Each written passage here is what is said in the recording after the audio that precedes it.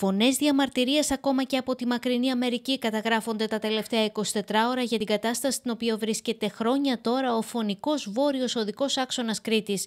Η Παγκριτική Ένωση Αμερικής απέστειλε επιστολή διαμαρτυρίας στον Πρωθυπουργό, ζητώντας την προσωπική του παρέμβαση για να ξεμπλοκάρει το μεγαλύτερο αναπτυξιακό έργο του νησιού που περιμένει εναγωνίωση Κρήτη εδώ και πολλές δεκαετίες. Το πρώτο θέμα το οποίο θέτει αν θέλετε, μακάρι να, είναι, να μην είναι, ε, ας είναι και το μοναδικό, είναι η, ο βόρειος οδικός άξονας της Κρήτης. Ας μην ξεχνάμε ότι η Κρήτη δεν είναι ένα νησί ε, πληθυσμού 620.000 κατοίκων σύμφωνα με τον τελευταίο ε, απογραφή. Η Κρήτη είναι ένα νησί όπου φέτος μέχρι το τέλος της χρονιάς θα υποδεχθεί περίπου 6,5 εκατομμύρια ε, επισκέπτες.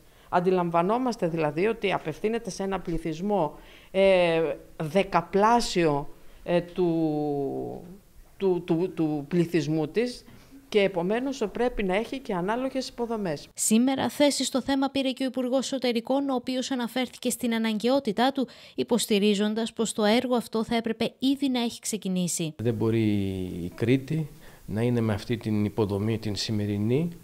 Ε, δεν θέλω να αναφερθώ μόνο στον μεγάλο αριθμό των ατυχημάτων που είδαμε και φέτος για άλλη μια φορά να συμβαίνουν, αλλά αντιλαμβάνεστε ότι αυτός ο τόπος με το τουρισμό που δέχεται, με την οικονομική δραστηριότητα που έχει, δεν μπορεί να εξυπηρετηθεί από το σημερινό δίκτυο. Άρα επιβάλλεται με κάθε τρόπο ε, σύντομα να ξεκινήσει το έργο. Το θέμα της κατασκευής ενός σύγχρονου και ασφαλούς αυτοκινητόδρομου θα τεθεί και στο επικείμενο αναπτυξιακό συνέδριο Κρήτης που θα γίνει την ερχόμενη εβδομάδα παρουσία του Αλέξη Τσίπρα.